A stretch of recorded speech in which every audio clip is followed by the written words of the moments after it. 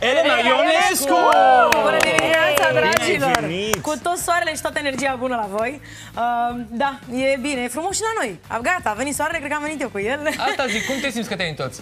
Foarte bine mă simt, mă Da? simt bine. E bine că sunt sănătoasă, e bine că mi-am întrecut așa niște limite pe care nu știu, credeam că le mai am acum după niște ani de zile.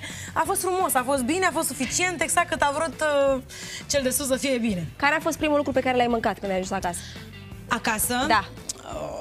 Adică... Adică- Un miel la cuptor.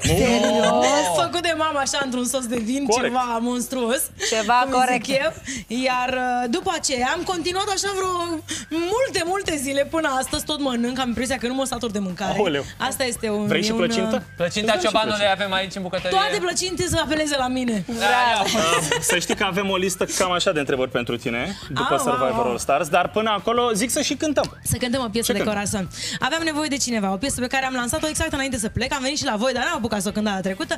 Așa că cu mare dragoste, cu mare drag, cu voie bună, așa cum vreau să începem uh, anul, cum s-ar spune că la mine de acum a început anul, că de la întâi am plecat, acum am revenit, uh, pe muzică, așa cum îmi place. Cu, ori Bun. data viitoare să vin și cu bentul ca să facem. Facem așa, începem anul cu muzică faină și cu apă caldă, Doamne ajută! Elena Ionescu se bucură în momentul Hai la ăsta. dans, hai! Uh, Te ascultăm și mai povestim după aplauze pentru Elena Ionescu! Gracias! Foarte spus, am frumoasă vrut- melodia. Mulțumesc! Ne-ai să făcut fie. să dansăm, da. Da, e balcanic așa stilul ăsta, care acum, după cum observăm, îmi place tot mai mult oamenilor și eu fac, încerc să fac o combinație așa, da, să văd dacă mi iese. Vreau balcanic latino. Adică Ok. vreau să mă duc mai mult în direcția aia, pentru că acolo m-am consacrat Auzi? cumva. Noi vrem să mergem mai mult în direcția În direcția aia. aia. Da, Mergi cu aici, noi? aici, aici, la canapea Hai asta să luăm un opulentă, loc aici. uh, la canapea voi. și la fotolii, pentru că avem foarte multe lucruri să te Așa. întrebăm. Oh, da. Elena, Avem pentru multe că- lucruri. Pentru că... Din ce am înțeles eu, Da. tu ai fost câștigătoare de Survivor. Da, Din ce ai primul înțeles sezon. tu? Din ce Așa a înțeleg fost, eu. că am văzut Singura totul. femeie care am câștigat și uh, sunt mândră de acest uh, statut. Te Pentru că felicităm. este foarte, foarte, foarte greu și voi știți, și oamenii ăștia trebuie să apreciați maxim. Indiferent cine trece pe acolo, că trece o săptămână, trei zile, cinci zile, e un challenge pentru fiecare persoană în parte să realizeze niște lucruri în viață și să prețuiască tot ceea ce are acasă. Foarte și noi adevărat. ajungem foarte, nu știu, trec ani așa și ne dăm seama că nu știm să mai apreciem nimic. Adică ne bucurăm, dar parcă nu ne mai bucurăm de niște lucruri atât de esențiale. Și culmea e că sunt oameni care chiar trăiesc așa. Adică de care, chiar și acolo în acea dominicană, îi vezi pe stradă care trăiesc sub forma asta. Da, pentru Depinzând tine de cum pe a o zi pe fost? alta. Doar că nu stau în junglă, stau pe stradă. Deci poate. ziceam că ai fost, ești câștigătoare de sezon de Survivor.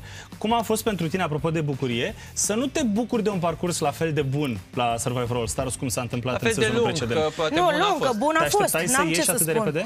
Uh, nu mă așteptam, dar, dar Survivor este un joc uh, imprevizibil și când spun asta, întotdeauna a fost așa și uh, tot timpul când te așteptai la ceva nu se întâmpla, când îți propuneai că vor fi niște jocuri, nu erau, când uh, credeai că o să fie mai simplu, se îngreuna situația, totul era... A- Așa asta e și frumusețea jocului în sine. Eu am plecat cumva montat uh, foarte bine de acasă, din punctul ăsta de vedere. Am zis, băi, vreau să-mi demonstrez mie, vreau să mulțumesc oamenii care m-au susținut, pentru că eu datorită publicului am ajuns aici și sunt uh, foarte, nu știu, a fost așa, o datorie morală pe care am avut-o, plus proiectul în sine, care m-a ajutat, mi-a luat o casă datorită acestui uh, show. Eu mi-am Doamne luat o ajută. casă, adică am muncit 20 de ani în muzică și n-am reușit să fac treaba asta, pentru că știm și noi cât de greu este să produci Da. și să pui deoparte în contextul în care stai în București, cu chirii și bla bla. Ne reîntoarcem un pic în Dominicană. Da. Și aș vrea să spui ce ai învățat una la două săptămâni cât ai stat acolo? Ce am învățat? Că viața e frumoasă și că trebuie prețuită așa cum, uh, cum nu o facem. Asta, asta este una dintre cele mai importante. Ri, îl- uh, uh, ruperea asta de civilizație prinde foarte bun, foarte bine une, unei persoane. Lipsa de tehnologie. Uh, Azi e ziua mondială fără telefon da, mobil. exact. Da, oh, aș sta fără el o viață, nu mi-a lipsit o secundă acolo. Singurul fapt că mi-era dor de copil și nu puteam să o spun că era normal, părea o victimizare și n-aș vrea să par în, să intru în această dilemă, proble- problemă, cum s-ar spune, dar în rest uh, uh, am învățat că indiferent uh, indiferent prin ce treci, trebuie să rămâi aceeași persoană. Să fii un om corect, să fii un om uh, uh, care respectă oamenii din jur, să te poți integra indiferent că nu cunoști oamenii, să supraviețuiești cu, să supraviețuiești cu niște persoane pe care probabil în mod normal nici nu le-ai accepta în viața ta sau a lângă fost, tine. Asta a fost un moment Cumva. greu pentru tine acolo? În Printre... primul sezon a fost foarte greu, pentru că am da. avut uh, oameni care probabil nu au înțeles foarte bine jocul și asta s-a văzut. Am fost așa cumva eu împotriva uh, tuturor, dar nu eram de fapt, nu era așa de fapt. Eu îmi doream să fiu într-o echipă, dar am fost exclusă cumva. Aici m-am bucurat de acest uh, de, de echipă și am fost cu totul acolo și când am plecat nu existau divergențe, ceea ce rar se întâmplă. Nu știu ce se va întâmpla de aici încolo, dar uh, pentru că Survivor te pune în situația în care scoate, scoate și cel mai bun și cel mai rău din tine. Dar cu cine te înțelegeai cel mai bine acum? Cu fetele de la faimoși și de la războinici, că ne mai vedeam așa, ne încercam să ne facem așa cu mâna de la înțelegeați cu distanță. cei de la războinici? Nu, înțelegeam. Nu e Prin propriu așa spus, nu te, ceva. nu, dar e un Nu mai respect făceați față cu de mâna. toți. Da, da, e da, un respect da. pentru că îi vezi Asta în e altceva. celelalte sezoane.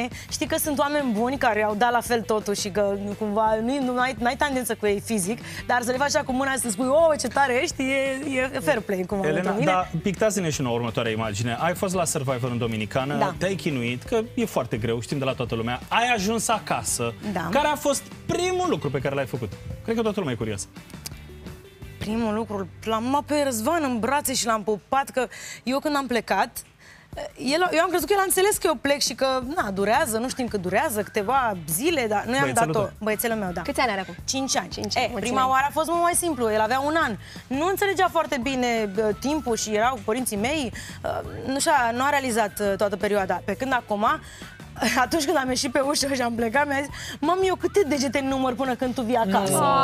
Ai, și acolo mi-am dat seama că el, de fapt, era foarte mândru de mine, își dorea ca eu să merg, dar nu le realiza timpul, nu-și dădea seama de, nu cuantiza. Și atunci uh, a fost așa, un, am plecat un, un, un pic cu sufletul greu. Am zis, Doamne, ținem acolo așa cât trebuie, cât să fie bine și pentru el. Când am ajuns acasă, părinții mei mi-au zis, ai luat, ai făcut, adică Dumnezeu te-a adus exact când trebuia. Copilul ăsta plângea după tine, deja se uita la Ai, mă. televizor. El a rămas cu părinții tăi A acasă. rămas cu ai mei, da. Și se uita la televizor și plângea când mă vedea pe traseu că Of. știe toată lumea că Doamne, mi acest s-a făcut show pielea de se găină. face, se face în avans cumva. Da. Și cele două săptămâni în care tu pleci și nu, se, nu, se, nu este nimic dat pe știe TV, nimic. Da. știm cu toții că nu ai niciun fel de contact. Tu de la noi de când am plecat, co- telefoanele s-au luat și după două săptămâni practic s-a redat pe TV. În fine. Și când am văzut că nu se dă niciun semn, că nu dau niciun telefon, atâta timp, cumva a fost un mic șoc și cumva probabil că Dumnezeu le-a așezat să ajung când trebuie și să fie bine. Atât mai spunem, ce a zis când te-a văzut? Că mami te iubesc și vreau să dorm și eu cu tine. No, Îmi doresc să dorm cu tine.